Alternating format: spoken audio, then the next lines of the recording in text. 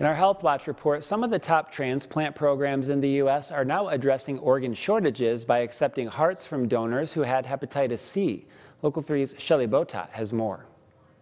Kerry Hayes has had a faulty aortic valve since he was born. I wasn't getting the oxygen that I was supposed to get. It would blood would flow back and forth instead of all one direction. He got an artificial heart a year and a half ago, which is almost as long as he was on the list for a donor heart. His doctor found Kerry a heart from a donor who had hepatitis C. It could be cured with antiretrovirals after surgery. Kerry got his heart and just found out his hep C is gone. I felt that I was probably going to be cured, but you know, it feels good to have somebody tell you, yes, you're officially cured. Transplant surgeon Jorge Reyes says 20 livers and hearts from donors with circulating hepatitis C have gone to patients so far. They're hep C negative. They have never been exposed to hepatitis C.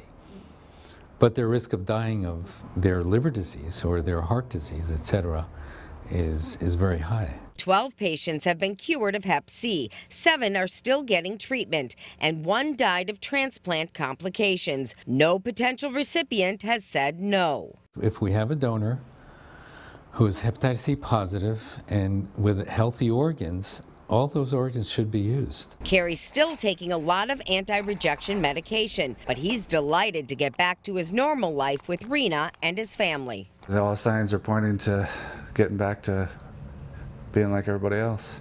The doctor says his team is looking at expanding the program to include kidneys from Hep C infected donors, but he wants more study done first. In an initial study, 20 patients at Penn Medicine in Philadelphia were cured of Hep C after kidney transplants from infected donors. And that's your Health Watch. I'm Shelley Botat, Local 3 News.